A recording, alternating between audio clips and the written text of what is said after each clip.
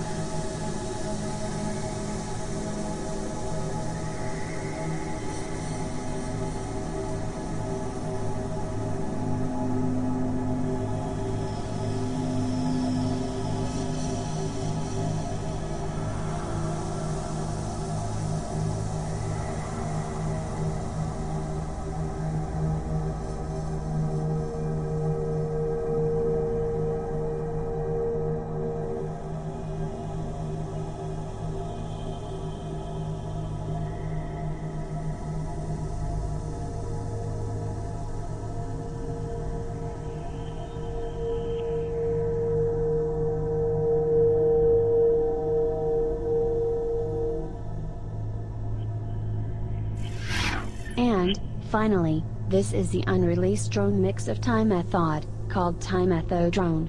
Big thanks to Ivy Martinez from Total ET for producing these sounds. Many of those will be reused in the final part of the Timethod trilogy, but the Black Square Collective gives you a chance to listen to the originals. We'll be back soon.